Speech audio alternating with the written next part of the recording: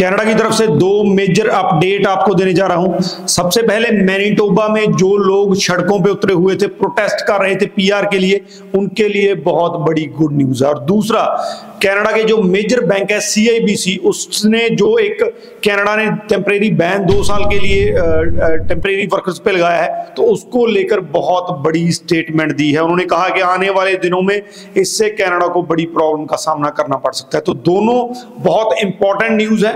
Video को end तक देखिएगा।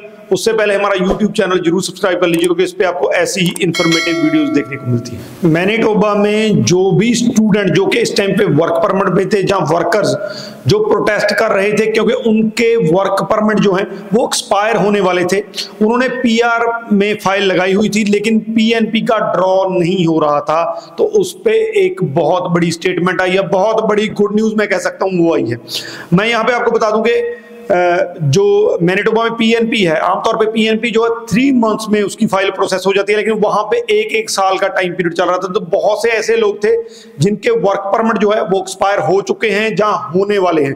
तो उसको लेकर मैनिटोबा इमिग्रेशन ने एक सोल्यूशन निकाला है। उन्होंने कहा है कि जिनके जो वर्क परमिट एक्सपायर हो चुके हैं जहाँ अगले 45 डेज़ में एक्सपायर होने वाले हैं उन सबको कांटेक्ट करना है इमिग्रेशन को स्किल्ड वर्कर वेब फॉर्म के थ्रू तो वो बताएँगे कि हमारा जो वर्क परमिट एक्सपायर होने वाला या हो चुका है, उनकी फाइल्स को जल्दी प्रोसेस किया जाएगा फास्ट प्रोसेसिंग की जाएगी, ताकि उनको कोई दिक्कत ना आए। तो जो लोग मैनिटोबा में सड़कों पे इस डिमांड को लेकर उतरे हुए थे, उनके लिए बहुत बड़ी रिलीफ है। अगर आपका वर्क परमिट एक्सपायर हो चुका है तो भी आप इन्फॉर्म कर सकते हैं। आपकी फ़ाइल को जल्द से जल्द प्रोसेस किया जाएगा, ताकि आपको परमानेंट रेजिडेंसी मिल सके और आपको कनाडा ना छोड़ना पड़े। लेकिन इसमें दो चीज़ें हैं जिसका आपने ख्याल रखना है। पहली चीज़ आपने इमिग्रेशन को बिल्कुल एक्यूरेट एंड अपडेटेड इंफॉर्मेशन देनी है, जो आज के टाइम पे आपकी बनती है, वो आपकी रिस्पॉन्सिबिलिटी है। और दूसरा कनाडा में जो आपका स्टेटस है, वो वैलिड होना चाहिए। आप आउट ऑफ़ स्टेटस नहीं होने चाहिए, आप लीगल इमिग्रेंट्स वहाँ पे नहीं होने चाहिए, ये आपकी रिस्पॉन्सिबिलिटी है। तो मैनिटोबा इमिग्रेशन ने मैनिटोबा गवर्नमेंट ने बहुत बड़ी रिलीफ देते हुए, जो भी पीआर की एप्लीकेशन उनके पास है, खास करके जिनका एक्सपायर हो चुका है तो उनको जल्दी से जल्दी प्रोसेस करने का फैसला फैसला किया दूसरी न्यूज़ जो है वो जो टेम्परेरी रेजिडेंट पे कैपिंग हुई है, उनकी गिनती को लिमिट किया गया है, क्योंकि वहाँ पे पॉपुलेशन कंटिन्यूसली बढ़ रही थी और हाउसिंग क्राइसिस आया हुआ था।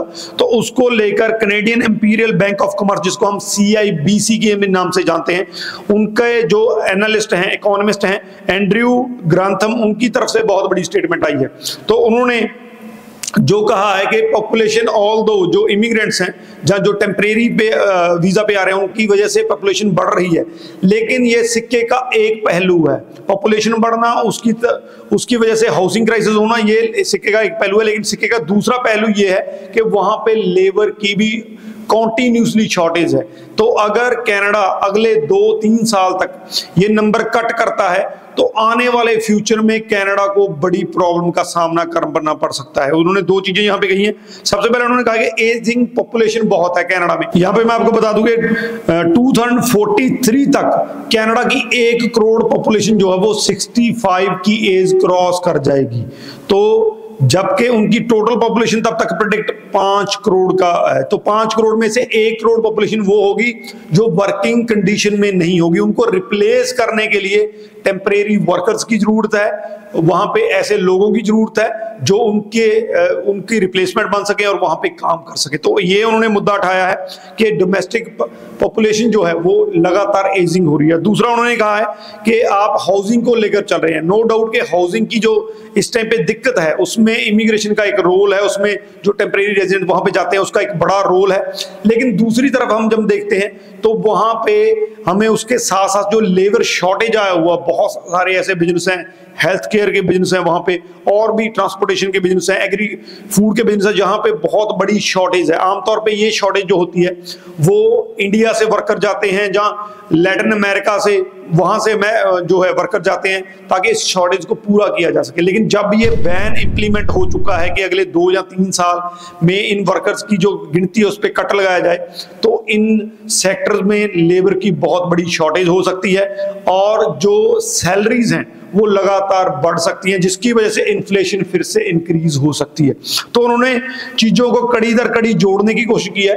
ओवरऑल इसका ये है कि अगर कनाडा इसको लॉन्ग टर्म पॉलिसी लेके चलता है कि आने वाले तीन चार सालों तक वो पॉपुलेशन को डिक्रीज करने के लिए हाउसिंग क्राइसिस को टैकल करने के लिए कॉन्टिन्यूसली नंबर कट करता है तो आने वाले टाइम में कनाडा की इकोनॉमी को बड़ा इससे जो है, शॉक लग सकता है और कनाडा में जो लेबर फोर्स की कमी है, वो लगातार हो सकती है। ये कहना है सीआईबीसी के इकोनॉमिस्ट का। तो अपने आप में मुझे ये लगता है कि आने वाले टाइम में जब ये सिस्टम सेट हो जाएगा, एक या दो सालों में, वो इस कट को जो है, वापस ले सकते हैं। तो ये दो मेजर अपडेट्स हैं। शेयर ज़रूर कर दीजिए, क्योंकि खास करके जो मैंने पीएनपी वाली दी है, लोग सड़कों पे उतरे हुए थे, आप वो वीडियो भी जाके देख सकते हैं। तो उनके लिए बड़ी रिलीफ है। और दूसरा होप सो कि आने वाले टाइम में स्टूडेंट्स पे जो कट लगा है वर्कर्स पे जो कट लगा है लेबर शॉर्टेज को देखते हुए इकोनॉमी को देखते हुए कनाडा उसको आने वाले टाइम में वापस ले सकता है। तो शेयर ज़रूर कर दीजिए। इस वीडियो के रिगार्डिंग अगर कोई क्वेश्चन है तो नीचे लिख दीजिए, आपका आंसर मिल जाएगा। Rajvi Chahal thank you so much